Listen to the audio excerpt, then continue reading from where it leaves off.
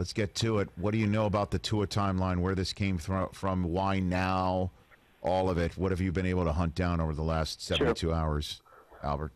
Well, you know what's here, here's what's fascinating. I, like I'll, I'll, start here. Baseline. Uh, Brian Flores is as good at handling players as you know, any young coach I've come across. How about that? And so my belief is Brian Flores would not be doing this unless he could sell it to his locker room. And the fact that they're playing well, um, like kind of like ups the ante there, where you, you need to have a guy who's capable of like not just you know playing okay, but being able to kind of keep going what they've had going on. So that's number one. And then I think you know from there there there, there are two pieces to this. Number one it's being realistic organizationally about where you are. They've looked great. Um, I, I think they're still probably a year or two away, and so I think you still have to kind of think with that vision, which is like what's best for the organization right now. Like, is it best for the organization to keep going where we're going with Ryan Fitzpatrick? If you know that means an extra win or two at the end of the year, I, like, or is it, or are we better off kind of like taking a long term view here and saying we we need to get a reps? So yeah, I think part of it's being realistic about where they are.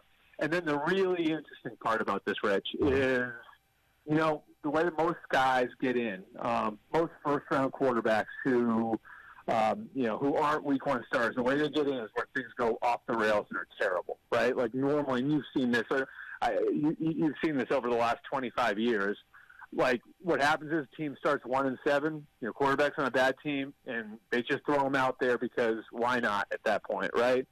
Um, I think what's really interesting about what the Dolphins are doing is the opposite of that. Is that they look at this and they see, okay, we're in our bye week, and we're gonna we've got the opportunity to give this kid a really, really good, healthy uh, environment to develop in. And so they decided to take that opportunity. And so from that standpoint, it's counterintuitive to what we've normally seen over the last 20 or 25 years with first round quarterbacks.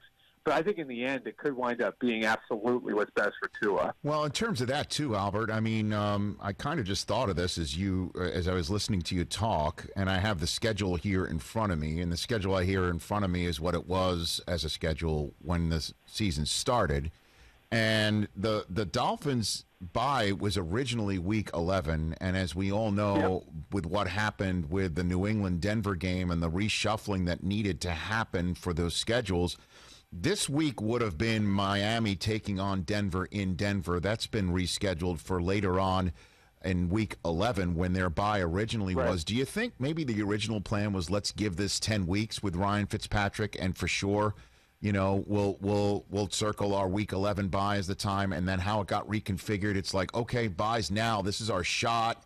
Let's do it now. Do you think that was a possibility? I think it's yeah. I mean, I think it's fair. You know, like we've seen it before and we've seen teams make like you know I, I get those franchise shifting sort of decisions based on where their bye is. Right. I mean, you remember there was that streak of years where like coaches kept getting fired coming back from London because right, yeah, the sure. bye week was right after the London game. Right. Uh, but it wasn't because the guys were coming back from London; it was because of the bye.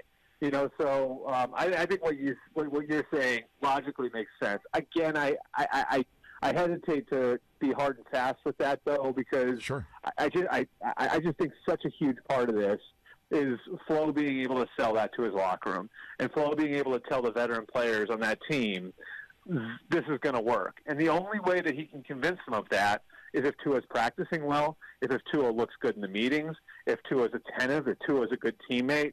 Like so, you know, I do think like you know whatever the best laid plans were at the beginning of September, and how that might, might have changed based on where the bye week is.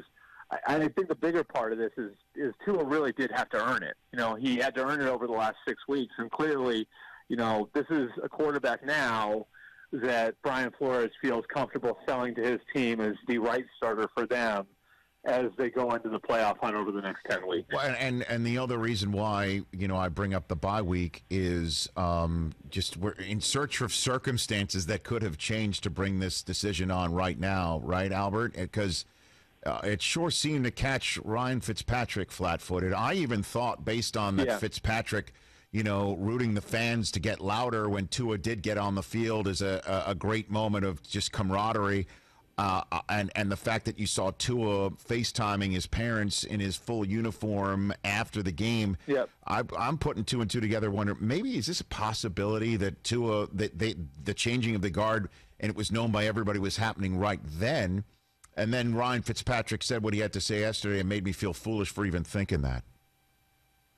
Yeah, I I don't think that they I, like I I I can't imagine they made it right after the game. Right. I just you know I think this is a big organizational decision, and this doesn't just involve the coaches. You know, this involves Chris Grier, the general manager, the guy who drafted him. You know, like this is a high level decision um, because once you go to you know a guy that you draft in the top ten, you know this, Rich. There's no going back, right? Like this isn't like okay, like Tua will get in there for three weeks, we'll see how it goes, and Nope. pull the plug if we need to.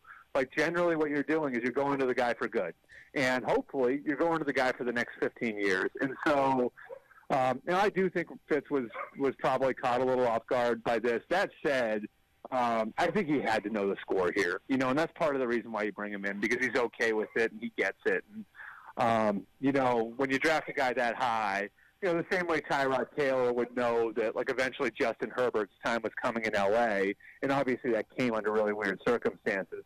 Uh, you know, Fitz had to know that that that um had to know that Tua's time was coming. I mean, it's not his first rodeo.